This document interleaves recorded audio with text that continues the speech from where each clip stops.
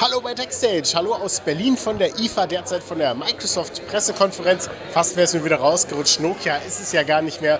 Äh, zwei neue Lumias haben wir schon gesehen. Jetzt gucken wir uns mal ein bisschen Zubehör an. Und zwar eine eigentlich ganz einfache und relativ witzige Sache. Eine Ladeplatte. Ladeplatte klingt irgendwie ein bisschen doof. Äh, in diesem Fall handelt es sich um die Wireless Charging Plate DT903. 903 lange musste ich dafür üben. Und das Witzige daran ist, da ist ein bisschen Intelligenz drin. Das Ding überträgt nicht nur Strom, sondern auch Daten.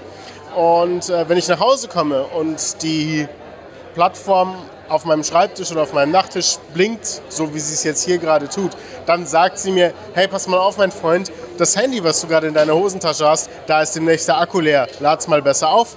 Dann lege ich es einfach drauf, es verbindet, es lädt und das Geblinke hört dann auch relativ schnell auf. Ähm, was wir ansonsten noch haben, neben diesem langsamen Blinken, um mir zu zeigen, dass der Akku bald leer wird, ist auch ein kurzzeitiges Blinken. Das kann ich jetzt hier mal mit dieser Demo-App demonstrieren.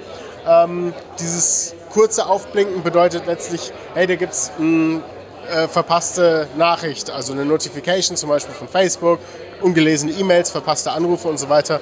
Dann blinkt äh, diese Platte auf und äh, das funktioniert sowohl, wenn das Gerät zum Laden drauf liegt, als auch, wenn ich es einfach in meiner Hosentasche habe. Ist einfach nur ein kleiner netter Hinweis. Wir haben drei verschiedene Ausführungen, in grün, in weiß und in orange, passend zu den Rückschalen, äh, farblich angelehnt derzeit hier an die frisch vorgestellte 730er Serie.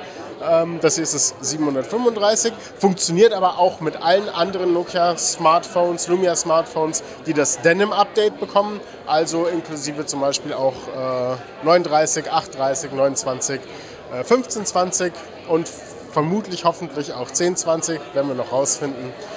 Einziger Haken an der Sache, ist eine coole Angelegenheit, aber 59 Euro kostet diese Ladeschale. Und 59 Euro ist natürlich für ein einfaches Ladegerät kein Pappenstil. Wer es aber gerne schön hat, kann sich es natürlich auf den Schreibtisch stellen. In diesem Sinne, bis bald, danke fürs Zugucken.